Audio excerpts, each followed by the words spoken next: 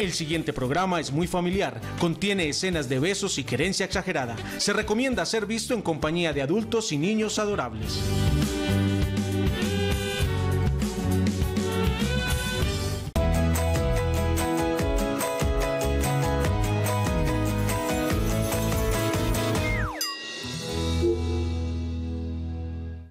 Nos unimos en un arrullo para abrir juntos un camino. Yo te ayudo a dudas, llanto y caídas, entre risas, besos y abrazos, juntos nos gozamos la vida paso a paso, construyendo desde el amor paso a paso, para hacernos la vida mejor paso a paso.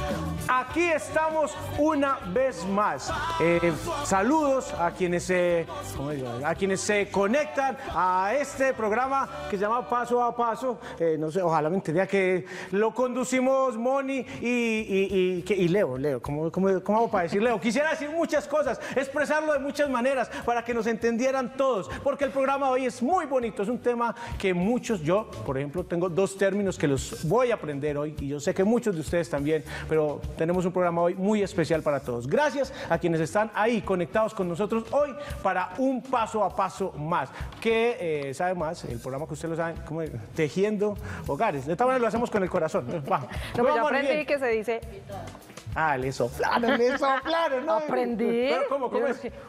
Hola, hola. Y ahí saludamos.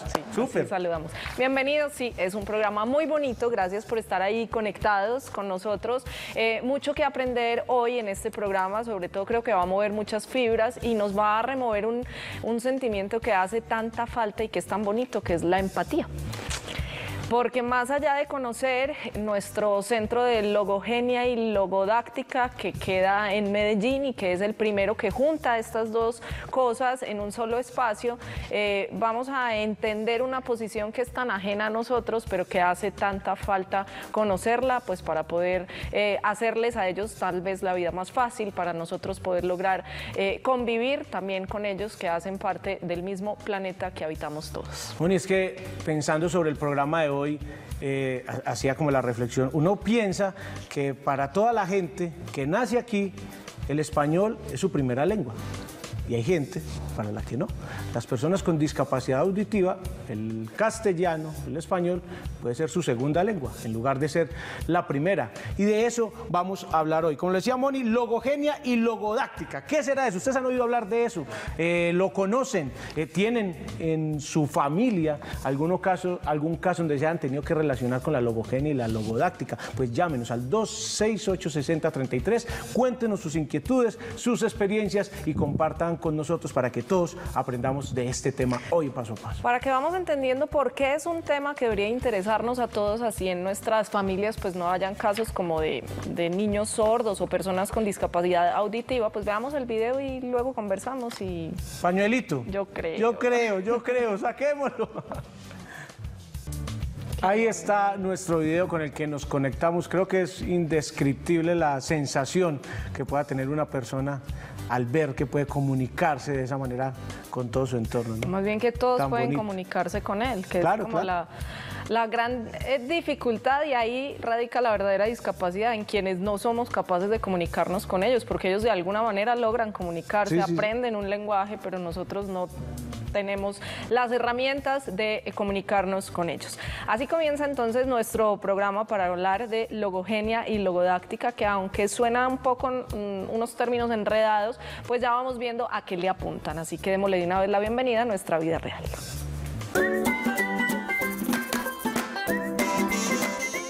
Llegan a nuestro set de paso a paso nuestros invitados a la vida real y hoy es punto doble para los papás.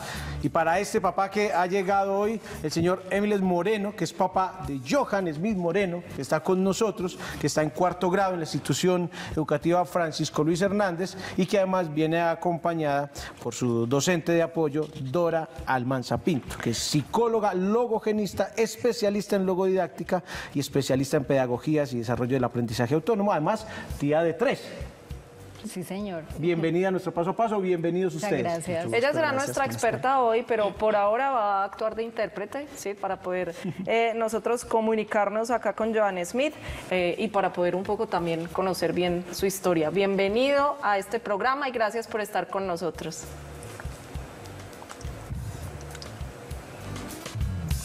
¿Cómo te sientes? Esa sí la entendemos todos. bien. Muy bien, muy bien.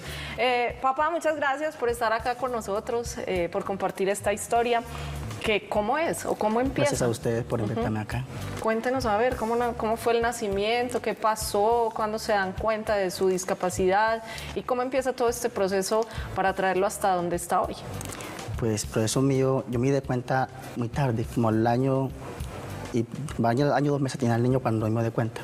Incluso, pues yo como no era papá, no era inexperto en el momento, se dio cuenta fue una psicóloga. Porque el niño como nació así, él nació muy débil. Pues yo no sabía por qué era la, la debilidad del niño, como si Pero como que el no tuviera fue fuerza. normal. El embarazo sí fue normal, todo bien. Y cuando yo la como nació así todo débil, pensábamos pues que era falta de calcio, entonces le metieron a una, metieron a, al centro de, de pasa para los niños de, nutrición, pues digámoslo así. Y la- entonces la psicóloga se dio cuenta que De el niño no escuchaba de nutrición. Entonces ahí fue donde la doctora me dio, me llamó a mí, me mandó a llamar, me dijo, papá, su niño es sordo. ¿Usted no se da cuenta? Y dije, no. Ahí fue entonces yo le pregunté, ¿qué hay que hacer entonces en ese caso? Pero espere, antes de qué hay que hacer, cuando a uno le dan un diagnóstico así, uno comienza a atar muchos cabos que antes no se había percatado. Empezó a asociar comportamientos del niño, con, claro, con razones que, que, que no balbuceaba o no señalaba los objetos o cosas que para su edad y para su desarrollo deberían ser normales, lo que llamamos los hitos del desarrollo, él no los cumplía. No, él me señalaba, porque no, no podía hablar, me señalaba, entonces yo, yo ya yo, yo me señalaba, yo ya sabía qué es lo que quería, para no, no cantaba que es que no era, que era sordo. Y entonces cuando la, la psicóloga me dijo, entonces yo le dije que qué hay que hacer para que el niño, o sea, porque qué hago para que el niño tenga pues, una mejor vida. Entonces ella me explicó que hiciera exámenes, que puede haber un, había una posibilidad de un implante. Entonces ella me, me, indus- me indujo pues al implante del niño. Ella me, me, me asesoró. Sí. Entonces yo comencé con ese proceso, a hacerlo, pero comencé como al año y medio más o menos, casi por dos años. Y ese proceso siempre se demoró para hacer el implante del niño, porque es que el niño era, como no se hagan, no, no podía comunicarse con las personas, él debía como desesperado, como impotente. Y eso a mí me destrozaba el alma. ¿Lloraba mucho? O sea, el niño, como no, no, no entendíamos, se esperaba a llorar. Se esperaba y también me hacía llorar a mí porque yo verlo en el estado. Yo al principio, la verdad, me, como padre, yo, o sea, yo no sabía ni qué hacer. Yo lloraba junto con él porque yo decía a mí, mi hijo así, no, no podía dejarlo así, tenía que hacer alguna cosa por él. Sí. Y me metió y yo, le doctora, yo hago lo que sea. Yo así esa que estaba para mí, pero yo hago lo que sea para que él tenga una mejor vida. Y lograron el implante. Sí, gracias a Dios. Duramos, el proceso para el implante duró dos años más o menos y pico. Y fue implantado los cinco años con seis meses. Para ese implante tuvieron que desplazarse aquí a Medellín, porque usted, tú eres de, de Cáceres. Sí, señor, yo soy de Cáceres, Antioquia. No, yo venía a cada cita. Eso fue muy duro, pero gracias a Dios lo logré. Yo venía a cada que me ponían la cita. Y cuando fui implantado me pusieron cita para el niño terapia auditiva verbal. Entonces yo tenía que venir cada mes y medio. Y así en el paso duramos dos años y medio. ¿Qué ha pasado desde que tiene el implante? Ah, pues ha pasado, a mí pues, el niño siempre ha servido el implante. Claro, no, no, no como esperábamos porque según la, terapeuta, el niño podía quedar al 70% de, De audición. Pero como en el pueblo mío, en el municipio de Cáceres, no había el refuerzo o la ayuda para, para la terapia, pues, porque si yo lo hacía acá, una, eran 10 sesiones acá en Medellín. Yo necesitaba reforzarlo en mi, mi pueblo, pero ya no hay esa, esa ayuda, no hay esa, como esa, pero no hubo como una, Un apoyo. ese apoyo. Ni el, Entonces, ni el, el grupo profesional para hacer no, las ya no terapias. vi, No de darle exactamente. al exactamente. Entonces el niño no evolucionó como esperábamos. Entonces duramos así en terapia año dos años y medio. Entonces la terapeuta me dijo que el niño no iba a evolucionar, o sea, no evolucionó como se esperaba, que para qué sigamos con las terapias. que ¿Pero él, él cortáramos ahí. escucha algo? Sí, él escucha perfectamente, escucha. Y por los sonidos, lo capta cualquier sonido, ya lo saca, sabe qué es el sonido que lo está haciendo. Pero por palabras no lo va a entender. Ok, él, él- él- lee los sonidos, básicamente Sí, interpreta y les da un exacto, significado a sí, los sí, sonidos. por ejemplo, si escucha una moto que pita y sabes que es la moto que pita y mira dónde está, en qué lugar. Gracias a Dios, pues sí le ha servido mucho. Y por eso estoy muy contento por ese lado. Pero cuando la terapeuta me dijo que ya el niño podía hablar, yo me quedé frustrado, porque la verdad yo quería que él hablara como, como todos Como nosotros. todos, claro. Pero entonces me dijo, pero tranquilo, papá, que hay, una- hay otra salida. Ahí fue cuando yo me enteré de la logogenia. Ella me dio la salida de la logogenia.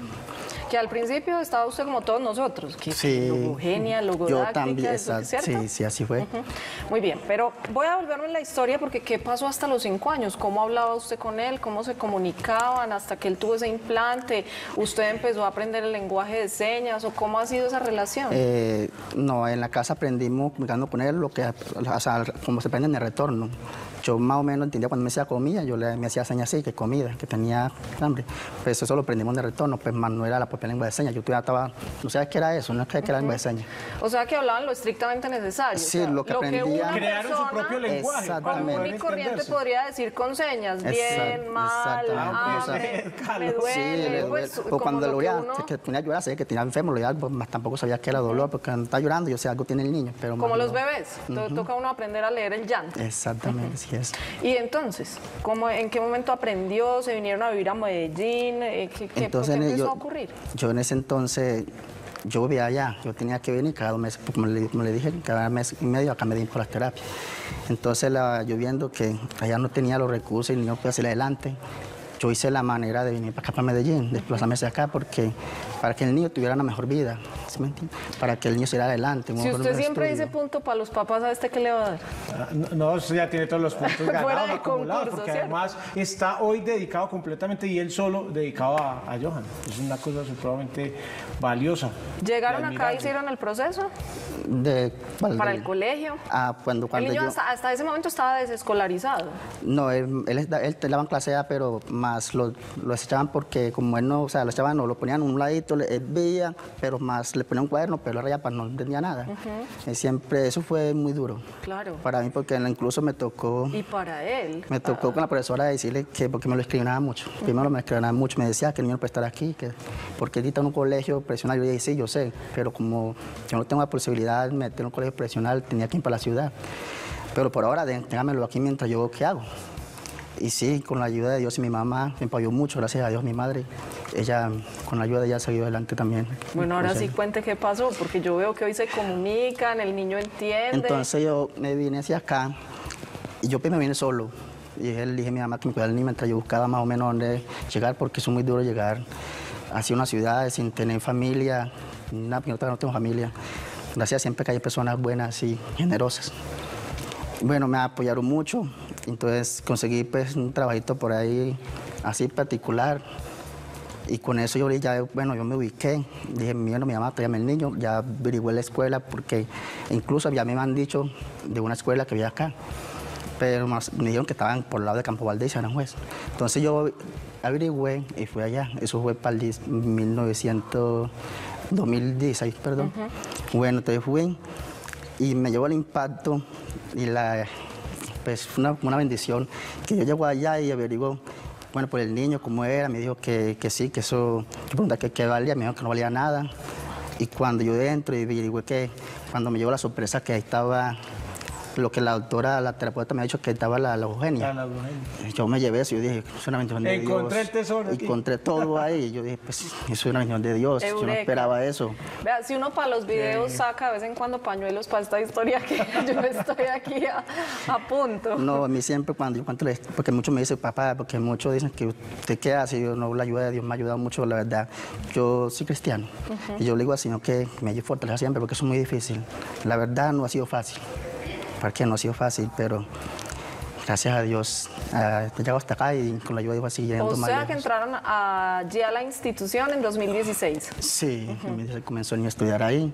Entonces ya me encontré con la con Dora Manza.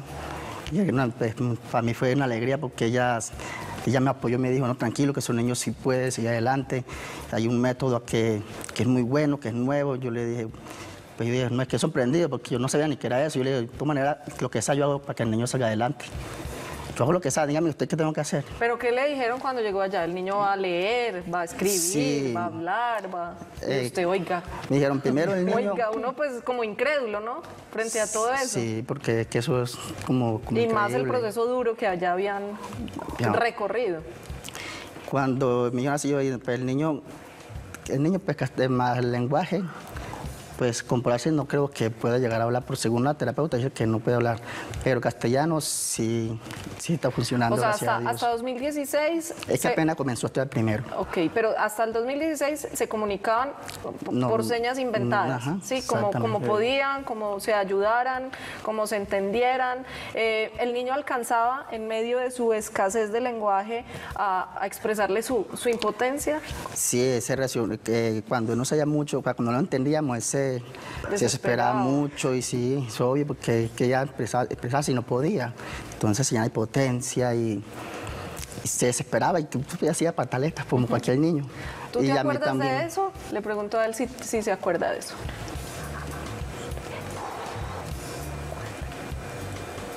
Sí, ¿Sí? sí, sí, se ¿Y- acuerda. y, y cuál es la diferencia de hoy, que ya tiene un lenguaje que puede comunicar con los demás?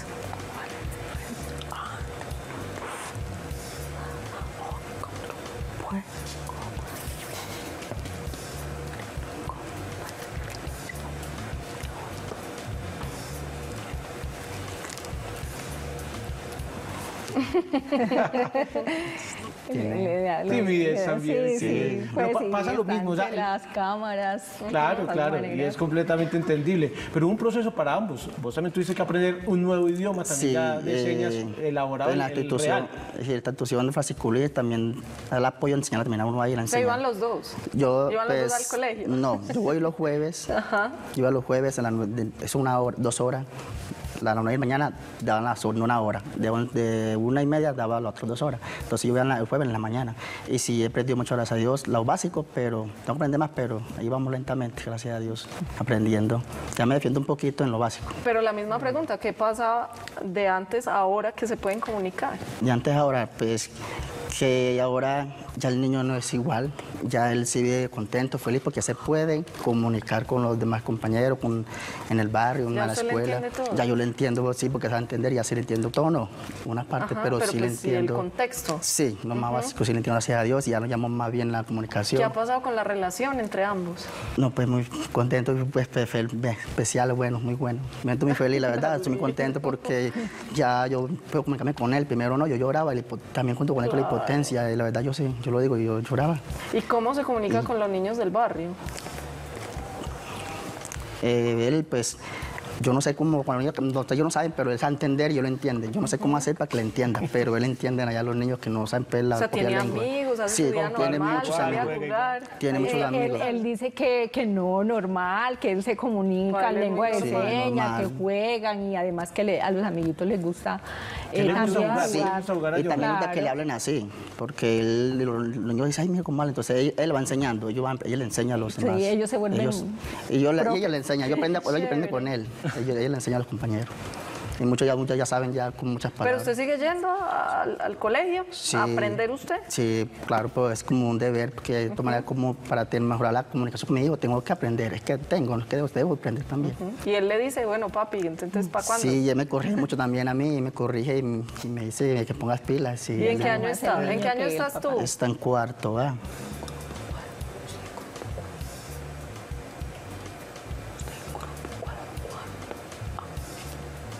Cuarto año.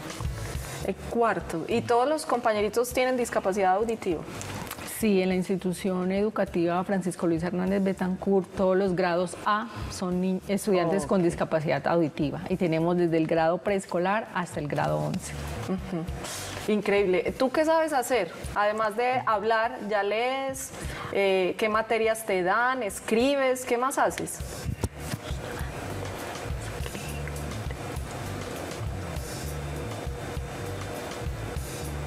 Mire, yo sé muchas cosas, por ejemplo, esto es el perro y ahí te lo deletreo. perro. Ese es el perro, yo sé muchas cosas. Ese es el gato y te digo cómo es el gato. Gato, ese es el gato. Sí, esa es la señal de gato. Yo sé muchas escribir. cosas, muchos animales, muchas áreas. También he, he- he estado pues como empezando a la parte de la lectura, pues a él le encanta mucho. con- Dora, ¿cómo dice? Está sobrado, mejor dicho, para él está sobrado. ¿Cómo diría? diría? ¿Cuál es la materia que más le gusta?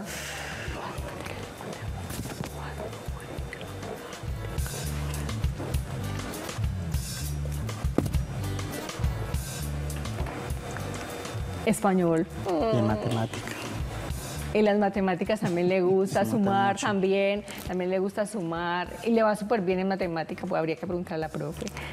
Sí, está, está bien, gracias a Dios. Sí, sí, sí, muy bien. A él le gusta mucho la, la suma, las restas, le gusta también sentarse, estar juicioso, no le gusta estar pues como neciando, no, le gusta estar pendiente, mirando a ver qué es lo que explica la profe.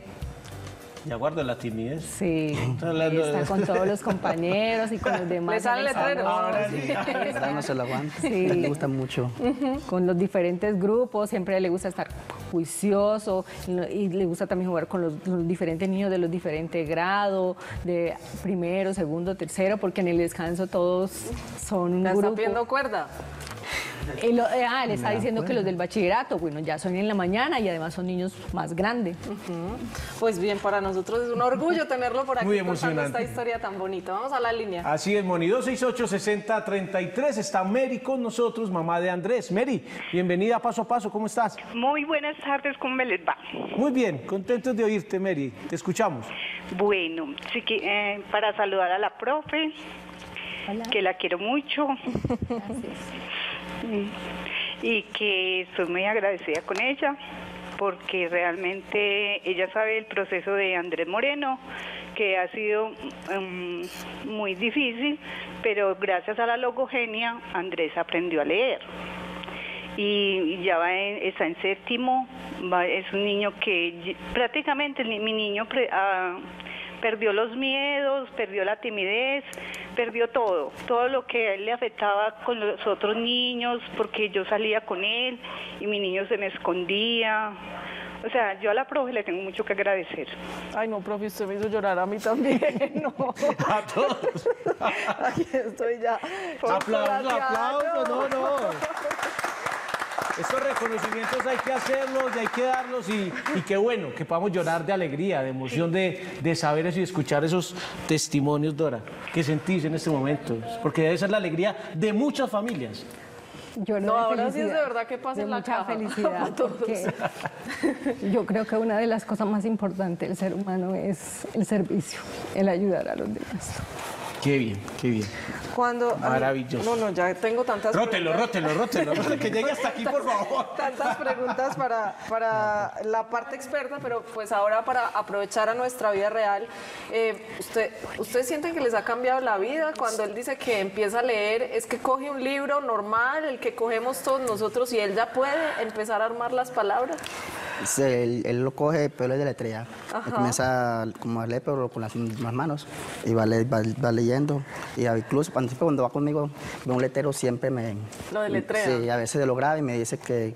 Me dice, pero por la seña me dice lo que dice ahí. Increíble. Entonces, sí, me siento muy feliz, la verdad, muy feliz.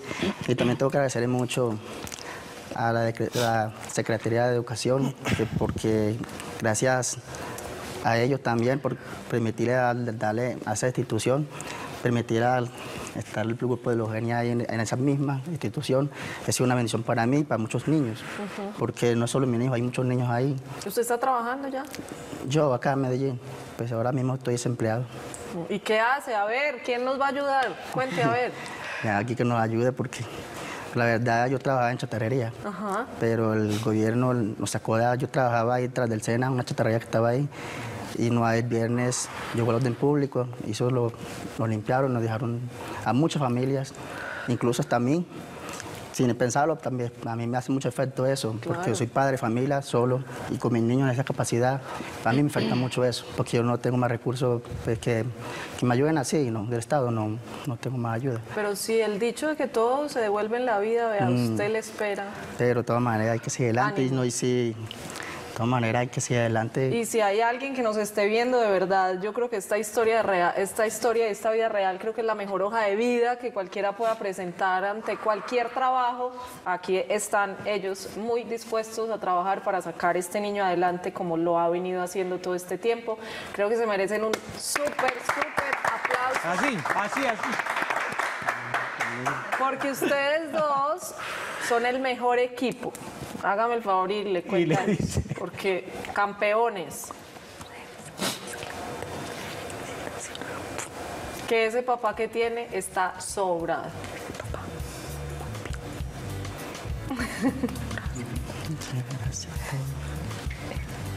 Gracias. Muchas gracias A a, ustedes ustedes por por, estar aquí, por compartir la historia.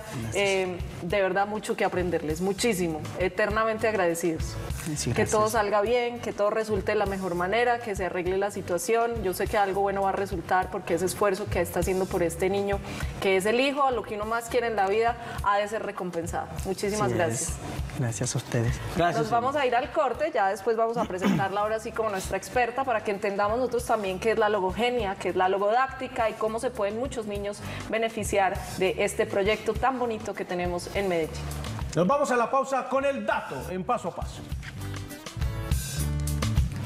En la pérdida auditiva, la mayor desventaja no es el no oír. La mayor desventaja es que el lenguaje no se desarrolla suficientemente. Ya volvemos a paso a paso.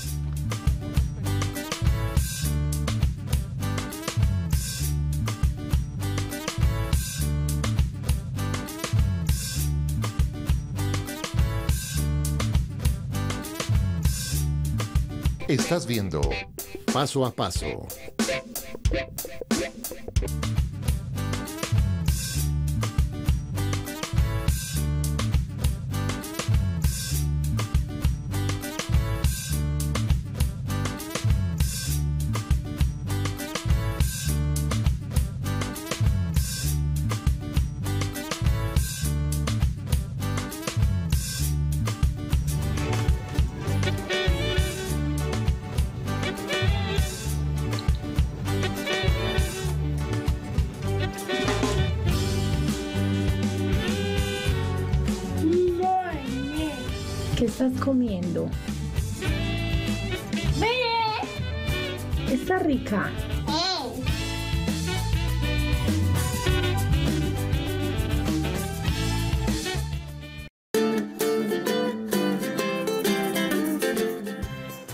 Ahí teníamos a Manuel José con nosotros en nuestro Mamarazzi y le damos la bienvenida nuevamente a nuestra invitada Dora Almanza Pinto, que ya está en su papel de experta para seguir desarrollando este tema. Antes de conversar con ella, vamos a ir a la línea porque tenemos también en el 268-6033 a Lucía, mamá de Valeria. Lucía, bienvenida paso a paso, ¿cómo estás? Muy bien, ¿y usted cómo se encuentran? Muy bien, contentos de oírle. ¿Qué edad tiene Valeria?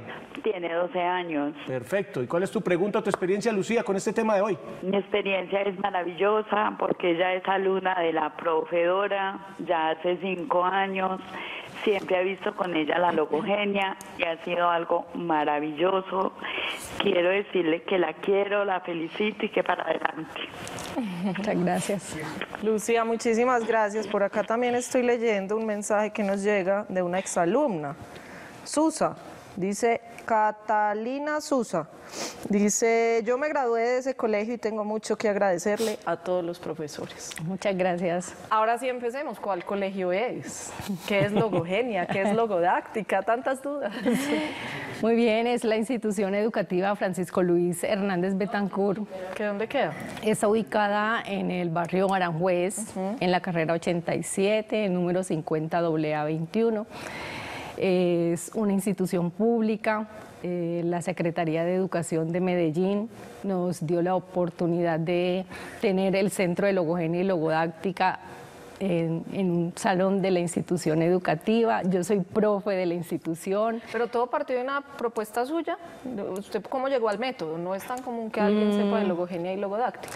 Bueno, mira, yo llegué al método porque yo hace muchos años trabajo con niños con discapacidad auditiva y tuve experiencia en dos normales, en la normal superior de Sopetrán y en la normal superior de Frontino, Antioquia. Y yo siempre eh, quería que mis estudiantes tuvieran la oportunidad de leer y de escribir correctamente.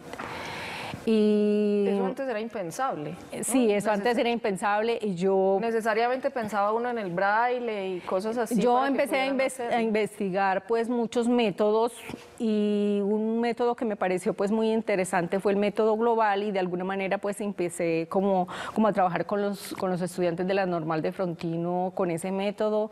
Eh, también ensayé comunicación alternativa aumentativa con el objetivo de encontrar un método, una respuesta para que mis estudiantes aprendieran a leer y escribir. Pero cuando llegué a la institución educativa Francisco Luis Hernández Betancur en el año 2012, eh, bueno, yo seguía trabajando con niños sordos, es lo que me ha apasionado, aunque yo no tengo ningún familiar con discapacidad auditiva. eh, desde que conocí pues esta población, yo me apasioné po- por ella y aprendí todo lo que tiene que ver con esta discapacidad. Y bueno, un día había una fonoaudióloga que estaba aplicando un método y me llamó mucho la atención. Entonces le pregunté que si qué era, que si cómo se llamaba, porque yo miraba como el niño, ella estaba trabajando preguntas y ella hacía las preguntas y el niño respondía en una forma coherente y yo, wow. eh, como que esto es lo que yo Esto lo que yo necesito. me he soñado. Entonces yo le pregunté que si era eso. Entonces me dijo, no, es un método que se llama logogenia.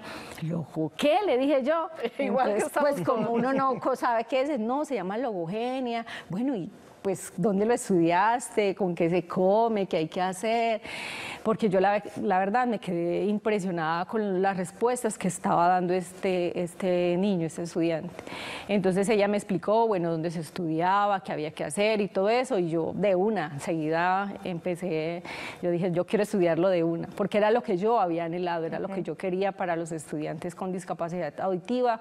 Estudié el método de logogenia, pero después estudié el método de, logoja- de logodáctica. La logogenia se aplica a nivel personalizado. ¿Qué es? La logogenia es un A ver método. si salimos de la. Muy bien, la logogenia es un método, ¿cierto?, que tiene como objetivo que los estudiantes con discapacidad auditiva adquieran la competencia del castellano como su segunda lengua, eh, en donde ellos puedan comprender lo que leen pero que también puedan escribir correctamente, porque muchas veces sí pueden leer, pero si no comprende lo que lee. Su primera lengua es el lenguaje de señas. En el caso de los niños con discapacidad auditiva, su primera lengua es la lengua de señas. Tú eres una profesora bilingüe. Sí, señor. Así se llama realmente, aunque suene a chiste. Eres bilingüe porque manejas el castellano y el lenguaje de señas. Sí, señor. Para implementar la logogenia hay que manejar primero el lenguaje de señas o eso viene dentro del paquete. No necesariamente. O no necesariamente. No necesariamente. Eh, aunque ya yo era maestra bilingüe, en- no necesariamente las personas que estudian logogenia eh, necesitan aprender la lengua de señas, aunque si la tienen es una, es una herramienta fundamental porque ahí Facilita el Sí, facilita el proceso y en ocasiones usted necesita explicarle al niño con discapacidad auditiva algunas cosas, pero si, tú, si la logogenista no lo sabe tampoco es un impedimento porque el mismo método tiene las herramientas como paso a paso. Eh, uno empieza pues a, a comunicarse con, con el niño y el niño empieza a leer y a escribir en una forma maravillosa. Yo a veces pienso que es como, como un método bendecido por Dios. Mágico. Antes, antes, y ya quiero preguntar qué pasa cuando empiezan a leer y a escribir, porque anteriormente ya era un súper logro que aprendieran a comunicarse con lenguaje de señas, y si lo aprendían sus familiares, incluso ellos, ya chuleamos, este niño sale adelante. Pero ¿por qué esas ganas entonces de ir más allá, de que aprendan a leer y aprendan a escribir? ¿Eso en qué les cambia, qué facilita, qué proceso dispara, qué, qué es lo que hace? Muchísimo, mira, eh, realmente la la logogenia eh, es mucho más que enseñar a leer y a escribir. Cuando nosotros hacemos, de hecho, eh, la neurolingüística y neurociencia nos ha dado pues eh, toda esa información, cuando nosotros hacemos una sesión de logogenia, estamos inundando dos áreas del, lenguaje que tiene que ver con el área de Broca y el área de Wernicke, lo que estamos haciendo es inundando al cerebro de información sintáctica. Y eso no solamente ayuda al niño a que aprenda a leer y a escribir, o sea, es que la información que no está llegando a estas dos áreas del lenguaje que son fundamentales, que no están ingresando por el canal auditivo porque está obstruido por X Y razón, está ingresando por la parte visual. Entonces, lo, ¿qué hacemos cuando hacemos logogenia? Lo que estamos haciendo es de eh, despertando eh, esa área, ¿cierto? Estamos inundando ese cerebro de información sintáctica y estamos estimulando estas dos áreas del lenguaje impresionante. Por eso los niños empiezan a comunicarse, por eso, por eso, eh, escribiendo, leyendo, y esto le cambia la vida de una forma radical. De hecho, se despierta en ellos muchas capacidades y habilidades que tenían ahí como guardaditas, porque no estaban estimuladas. Es que se me ocurren muchas preguntas curiosas, Mori, porque, Dora, es que uno se pone a pensar, así como hay varios idiomas en el, en el lenguaje hablado, oral, ¿cierto? Hay inglés, italiano, español, pasa igual en el lenguaje de señas. O sea, hay lenguaje de señas inglés, lenguaje de señas italiano, tiene que aprender uno distintas cosas. Mm, ¿O sí, no? desafortunadamente la lengua de señas no es universal. O sea, por ejemplo, el castellano es universal. Sí. Eh, por, esa es la diferencia entre idioma y lengua. ¿Sí? Entonces, eh, es una lengua, la lengua de señas es una lengua y por ser lengua no es universal. Entonces, por ejemplo, si yo me voy a, para los Estados Unidos, yo tendría que aprender el lenguaje de señas de, los Estados Unidos, porque eh, varía mucho entre países. Eh, las señas. Porque se y- maneja mucha simbología, ¿no? Claro, y los contextos son totalmente diferentes, entonces... Yo sé pues que de hecho es toda una ciencia, diría yo, no sé si, si lo sea esto de la logogenia, pero cómo, así de coquito, cómo se enseña.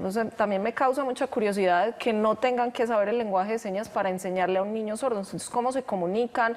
¿Cuáles son los principios bajo los cuales logran enseñarle a un niño a leer y a escribir? Muy bien, empezamos con pares mínimos. ¿Qué es un par mínimo? Son dos oraciones correctas, dos, dos oraciones gramaticalmente eh, correctas. Y nosotros empezamos, hay dos oraciones y empezamos eh, sustituyendo elementos, ¿cierto? Yo te coloco, por ejemplo, la primera oración, te digo, dame el lápiz. en la primera. Entonces, en la de abajo yo te coloco la misma oración, eh, puedo colocar toca el lápiz. Entonces, ¿qué estoy su- sustituyendo? Un solo elemento. Estoy sustituyendo dame por toca. ¿sí? Y así sucesivamente. Además, la, lo- la logogenia y la logodáctica nosotros la hacemos en una forma didáctica. O sea que aprenden por, por La asociación visión. visual. Visión, Es claro. como cuando, por ejemplo, hay niños de uno, dos años que saben leer, que realmente no es que sepan leer, sino que se aprenden las palabras. Sí, y empieza el proceso de, de asociación de las palabras con las imágenes. Entonces, listo, yo, por ejemplo, hay una imagen, yo le digo, papá, es el papá, ¿cierto? Y coloco, este es el papá. O sea, por ejemplo, los niños de- del grado primero, nosotros empezamos con cosas muy elementales, con cosas muy básicas, y en la medida que el niño va avanzando, uno va complejizando pues el Increíble. aprendizaje. ¿Y que la logodáctica? La logodáctica eh, tiene sus fundamentos teóricos en la logogenia, solo que se hace a nivel grupal. Y es una experiencia maravillosa. Pero la que he también tenido apunta a aprender a leer y escribir. Sí, claro, pero a nivel grupal. Eh, y la logodáctica es a nivel personalizado. Dora, pero entonces ese es el proceso cuando el niño ha tenido una pérdida eh, de su capacidad auditiva y se le empieza a enseñar el castellano. El castellano. Cua- Cuando el niño, por ejemplo, ya ha aprendido el castellano y se da la pérdida de, de la audición después de grande y ya lo, lo hablaba, el proceso se puede dar igual, Eh, es, es distinto aprender el lenguaje de señas para aplicarlo a ese castellano que ya sabía. Sí, No si eso depende pues como la necesidad de cada niño, de cada persona. Hay personas que han perdido la audición ya adultos por un accidente o que oye razón, pero ya saben leer, ya saben escribir. ¿Por qué se dice que funcionan de manera independiente? O sea, la gran noticia es que en Medellín tenemos un centro que articula las dos, logogenia y logodáctica, porque funcionaban antes de manera independiente, o uno iba a un centro de logodáctica y por aquí tenía que ir al de logogenia, o cómo, cómo funciona eso? Eh, sí, la, la logodáctica es muy reciente. De hecho, la logodáctica tiene origen eh, colombiano em, de Medellín y está, eh, fue creada acá en la ciudad por una paisa.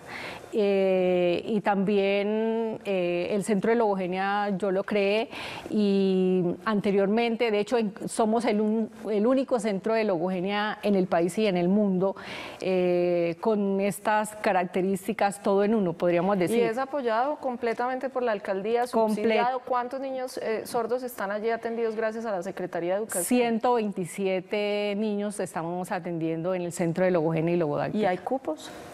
Sí, claro, todavía hay cupo. O sea, bienvenido. Bienvenidos todos los papás, todos los niños con discapacidad auditiva, porque podríamos decir, nosotros tenemos una, eh, tres modalidades. La primera que eh, creamos pues por la necesidad también de que los niños llegaran a la institución en edad temprana y creamos el proyecto de primera infancia, que son todos los niños menores de 5 años. Eh, van cuatro veces a la institución con sus papitos, entonces hacemos talleres simultáneos, en uno están los papitos y en otro están los niños. ¿Y qué le enseñamos a, a los niños? Todo lo que es la parte de aprestamiento, grafomotricidad y todo eso. Y los niños de primera infancia están con- de primero, de primaria, perdón, están con nosotros con todos los juguetes. A ellos les en- logogenia, logodáctica. Y en el bachillerato estamos ya con talleres, pues como para reforzar un poquito, pero lo ideal es que, y nuestra visión y el enfoque de la institución es que los niños salgan 100% bilingües, o sea, con competencias en la lengua de señas como su primera lengua y en el castellano como su de los segunda niños lengua. sordos, yo estoy muda, prácticamente. Lo dejan a uno sin palabras No, no en el mejor sentido decir. de la expresión. Exactamente. Pero te- antes de irnos al corte, tengo una palabra, una pregunta ahora. Eh, En el lenguaje de señas, a la persona que es muy vulgar, ¿cómo le dice? Manisucio. Grosera. Sí, ah, porque si uno es boquisucio, otro es manisucio. no. Grosera, Vamos a ir al corte en nuestro paso a paso con una de nuestras grandes citas pequeñitas. Esta la dijo Jerónimo a sus cuatro años. Mamá, cuando seas pequeña como yo, podrás jugar con todos mis juguetes. Antes no. Ay. Va, va- a jugar mucho, va a jugar mucho. Jerónimo, cuatro años, grandes citas pequeñitas. Ya volvemos. Querían coger a los niños. Estás viendo Paso a Paso.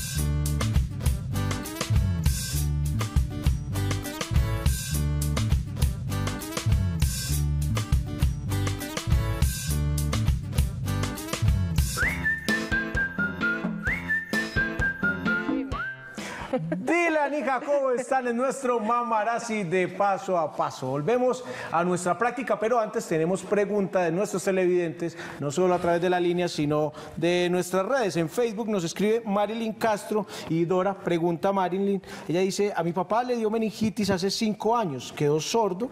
A raíz de eso se le hizo un implante coclear y el resto de años ha estado en terapia, pero no ha sido posible volver, no le ha sido posible volver a escuchar. A raíz de eso la vida de toda la familia cambió. Yo quiero saber si para él se podría hacer la logogenia o qué otra cosa puede ayudar para que él pueda hablar y nosotros comunicarnos con él, que ha sido difícil. Aquí estábamos discutiendo la pregunta y básicamente para no gastarnos mucho tiempo en la respuesta para que podamos ver al niño leyendo y escribiendo, es que si no sabe leer y escribir, sí, pues a eso le apunta la logogenia, pero si él sabe leer y escribir, es más, sabe hablar, lo que les cuesta es a ustedes comunicarse con él, lo que deben aprender en la familia es el lenguaje de señas. Lenguaje de señas. Y él también, pues obviamente para que Claro. encuentren un lenguaje común. Sí, claro. Ok. Eso es como le digo. Manos a la obra. A ver, pues vamos a ver cómo se aplica esto en acción para que nos sigamos erizando aquí. ¿Qué vamos a hacer Dora con Johan? Vamos a leer. Aquí, ese es un cuento. Sí. Eh, se llama Encuentra a Pepe. Entonces, ah, dan unas instrucciones. Él debe leer y debe hacer lo que le están diciendo en, en el texto. Entonces vamos a poner a, a Johan a que lea y que, que lea la instrucción y él debe hacerme lo que le está diciendo la instrucción. Listo.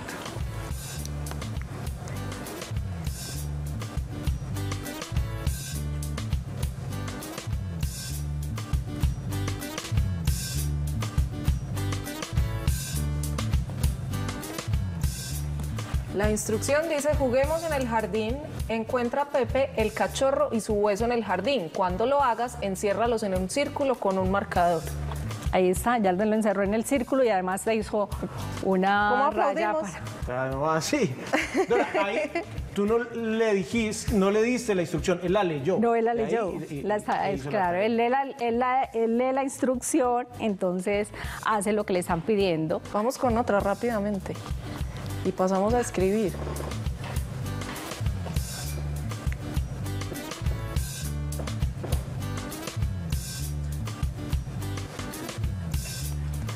¿Cuál es la instrucción? Pepe el cachorro ha puesto de cabeza a la cocina buscando su hueso. Encuentra a Pepe y ayúdalo a encontrar su hueso. Y lo hizo perfecto. No, aplauda. Este es un texto eh, que está, diseñado para la logodáctica o pueden No. hacen este trabajo con cualquier Eso texto. es un cualquier libro normal, libro un cualquiera. libro para un niño un libro como- normal, cualquiera, solo que este es un libro de tablerito en donde es borrable. Mira, yo Sí, puedo borrar con el dedo, entonces es más práctico para que los papás también puedan quiere seguir, él quiere tener seguir. este. Vamos a ver, porque le encanta el cu- cuento. A Pepe el cachorro le encanta jugar al escondite en el parque. Utiliza tu marcador para encerrar en un círculo a Pepe y su hueso cuando lo encuentres. Los encuentres.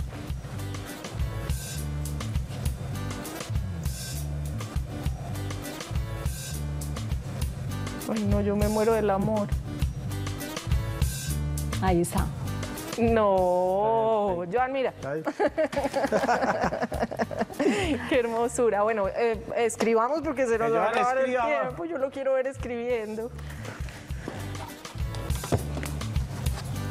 ¿Cómo se hace este proceso?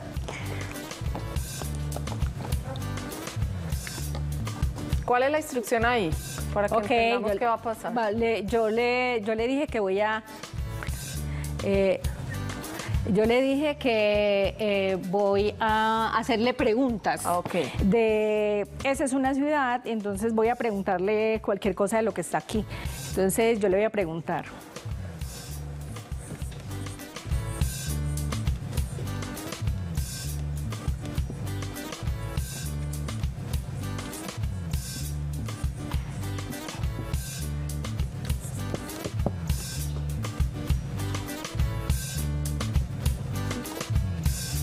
Me dijo, tranquila, ya yo sé, es una niña.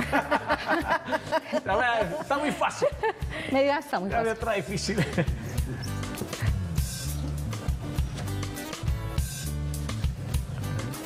Muéstrame el, el libro para ver la imagen acá. Para saber por quién le estamos ¿Por quién le están preguntando. preguntando? Una niña que está en la ventana. Ah, ya.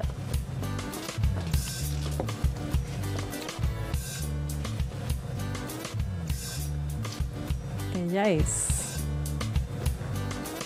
Ah, es, es todo pulido. Tranquila. Escribe ahí. Ella es.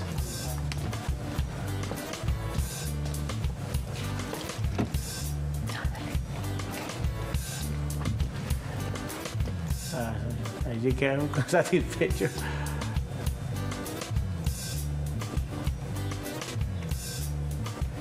Ella es la niña. Entonces ella, él le escribió, ella es al niña. ¿cierto? Entonces yo le digo que es la y que la hizo al revés.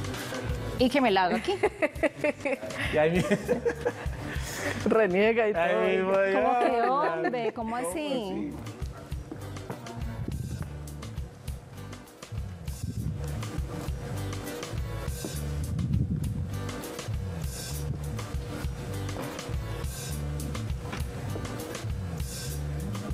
Ella es la. ¿Listo? Ahí está, perfecto. Entonces, ¿cómo hacemos? No, esto me parece hermoso. ¿Le puedo hacer otra pregunta? Yo le quiero hacer una pregunta. Sí. ¿Qué, qué está, le puedo preguntar qué está haciendo Una el señor. difícil, una difícil. El, Ese para las otras ya están muy fáciles. Ese es verbo ser estar. Ah, no ok, trabajar. todavía no. No, no, entonces hazle tú otra porque yo no sé a dónde va. Bueno, vamos a prenderle el carro. ¿Saben? El verbo to be. Ya se imagina. Eh, Sí, Para porque es el verbo igual dificultad. estar. Es lo mismo, pues, es- estamos en el proceso, entonces el verbo vida está preguntando, Sí, ¿qué sí. está haciendo? Ser Ajá. estar, sí, entonces... Vamos es a hacerle otra pregunta, la última.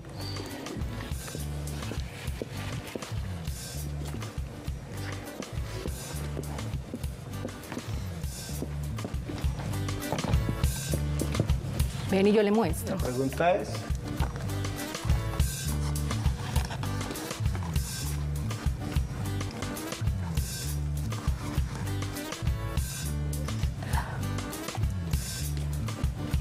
Sí, ya va, que es que les ¿Qué ha- es él, tiene confusión como con el objeto. Sí, venga, yo le corrijo.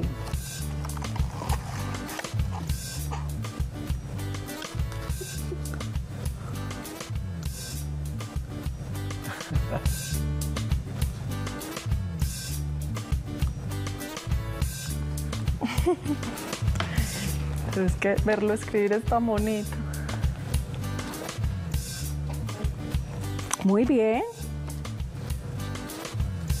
La pregunta es, ¿qué es esto? Y es sobre el- la imagen del libro. Muy bien.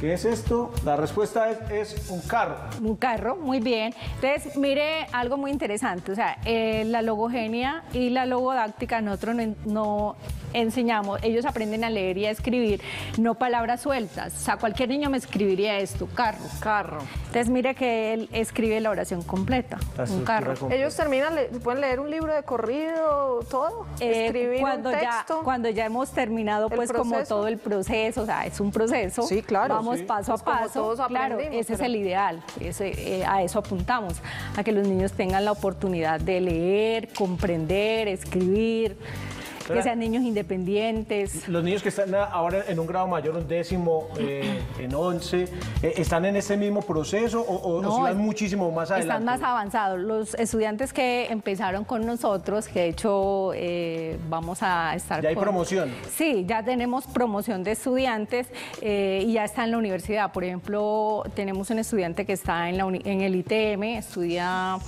sistemas, y tenemos otro en la Universidad de, de Medellín que está estudiando Derecho. A mí lo único que se me ocurre decir para despedir es felicitaciones y gracias. ¿Cómo se dice felicitaciones en, en lenguaje de señas? Felicitaciones. Y gracias por estar en paso a paso. Gracias.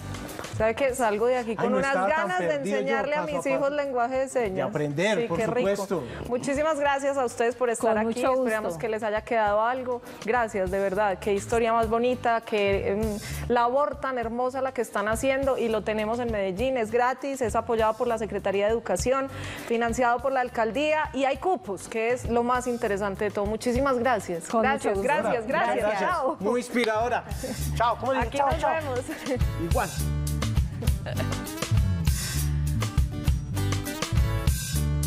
Mire, les encanta leer. Es una cosa también que cuando empezamos a trabajar con ellos, por ejemplo, tenemos